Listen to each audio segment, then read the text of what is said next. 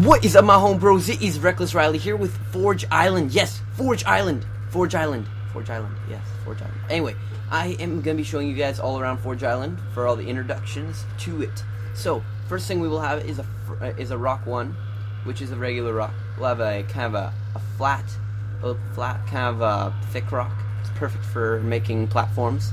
Then we'll have kind of a Jaw Rancher type rectangle rock, and I find this one to be my favorite just because I don't know. I just I, I like that. I like its shape. But we got some good rocks here. We don't have the sea stacks, but I don't. I like this better. Anyway, guys, we have trees, which are awesome. Trees are always awesome.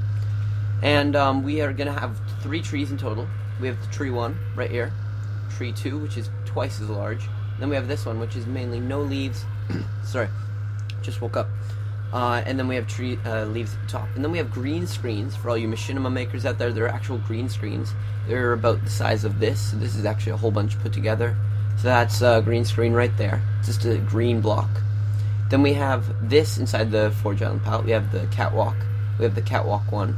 We have the bridge wall, and we have the artifact base. So those are all the stuff that's inside of the um, the Forge Island palette, except for these. These are all in the natural palette, where all the regular natural stuff would be. This is a wall coliseum, just to see like kind of the differences